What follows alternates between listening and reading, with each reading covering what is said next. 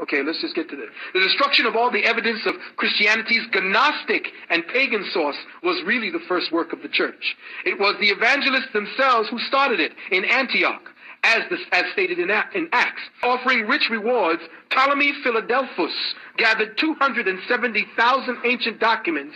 These too were burnt for the same reason. As someone has said, the early Christians heated their baths with the ancient wisdom.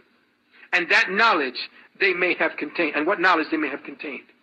Nor did the destruction end with the founders of Christianity. The fanatics they made carried on their work.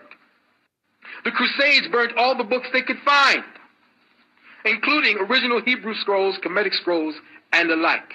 In 1233, the works of Maimonides were burned along with 12,000 volumes of the Talmud.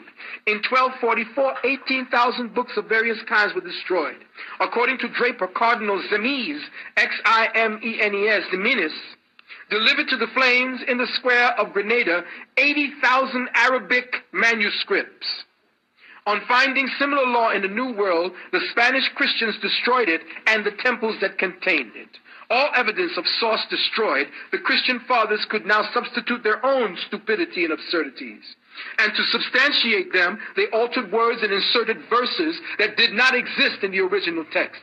Celsus, a witness to this falsification, said of the revisionists, some of them, as it were in a drunken state producing self-induced illusions, remodeled their gospel from its first written form and reformed it so that they may be able to refute the objections brought against it.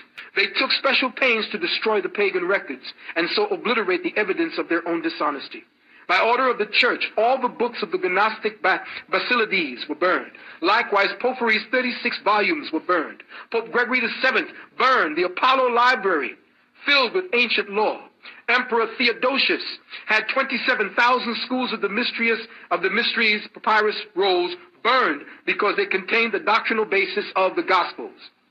By Gerald Massey wrote, they made dumb all pagan testimony against the unparalleled imposture then being perfected in Rome. They had almost reduced the first four centuries to silence on all the matters of the most vital importance for any proper understanding of the true religion of the Christian superstition. The mythos having been at, at last published as a human history, everything else was suppressed or forced to support the fraud. It is well known the Christian fathers were notorious forgers even the Catholics themselves admit that. According to the Catholic Encyclopedia, quote, in all these departments, forgery and interpolation was well, as well as ignorance, had wrought mischief on a grand scale. This is the Catholics who are the original Christians saying this.